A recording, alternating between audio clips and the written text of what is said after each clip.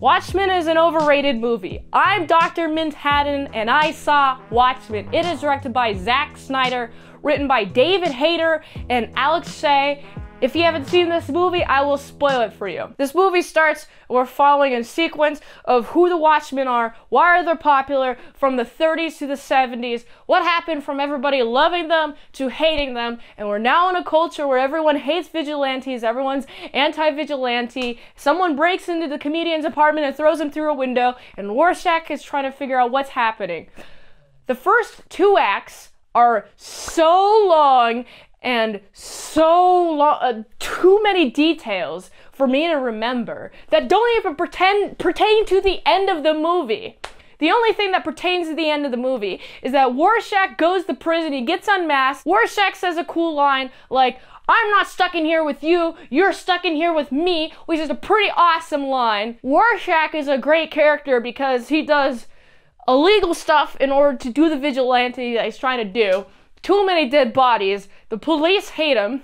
The police hate vigilantes. He's trying to find out what happened to the comedian. He goes to the funeral of the comedian. There's this guy there, and the guy's like, oh yeah, this the comedian just broke into my house and started rambling some things. And the Rorschach's like, huh, weird. I think all these people are trying to get rid of vigilantes. They're going one by one and getting rid of all these people. Dr. Manhattan is a great character. I like his introduction. I feel like Scenes with Dr. Manhattan are the only time that I like, and also Rorschach whenever he's in a scene too, during the first and second act. Everything else is so freaking boring, and it's awful. Two hours and 41 minutes for this piece of trash? Why couldn't you cut it down in half? I know it's a native adaptation of the comic book. I understand that, but bro, cut some things out, okay? Cut some things out for the mover viewer experience so I don't have to watch so many details get thrown away and not addressed in the third act. Zack Snyder ruined Superman. He did a good job with Watchmen because it's dark, nitty gritty world, okay? Don't introduce that to Superman, who is supposed to be the good boy. He's a guy you put on a pedestal to achieve to. You're supposed to be like, man, I want to be like Superman. He does all the things good. But Zack Snyder made it so he's an edge lord, and it's trash that you just destroyed that character, Zack Snyder. Why did you do that?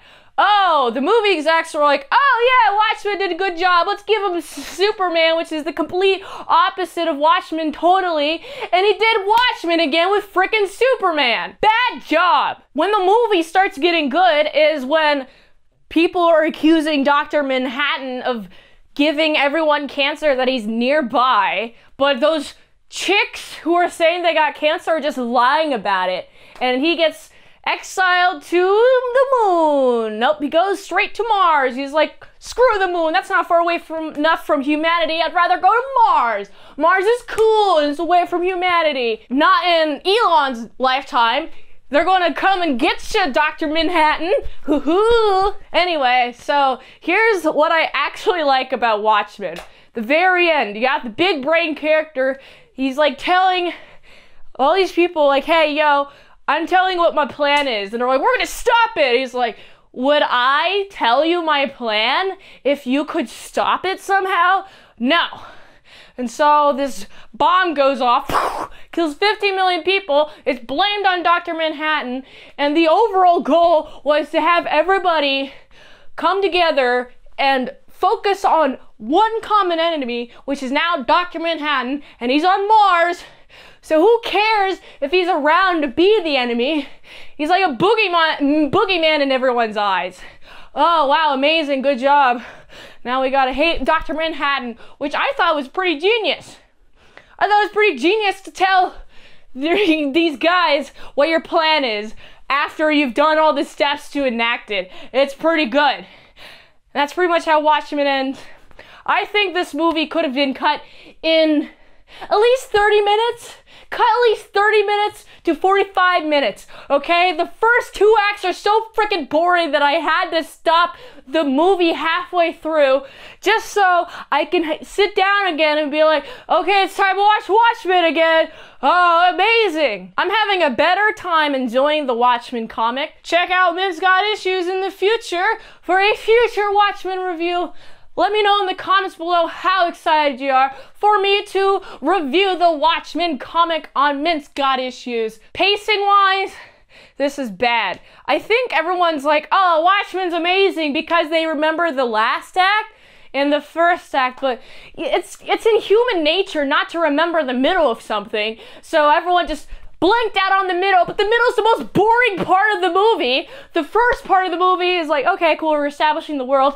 And then the last part the movie is like, oh, this is pretty awesome. I can't believe you duped everyone. And then the middle part is like, all filler trash, and I hate it. Why do people like Watchmen? It freaking sucks. Zack Snyder, you should have not been given Superman. And so I gotta give this movie, oh god. The only good part's the last act. It's pretty redeeming honestly. So I gotta give this movie it's a solid 6.5 out of 10. If you like this review, watch another one. The platform really likes that $20 Dino is at patreon.com slash ASE Presents for one movie review per one month. Go to this link to support the daily grindiness of all them daily movie reviews, so you can go here. And until next time, I'm Mint Salad Saw. I'll see you later by Sal Croutons Bacon Bit.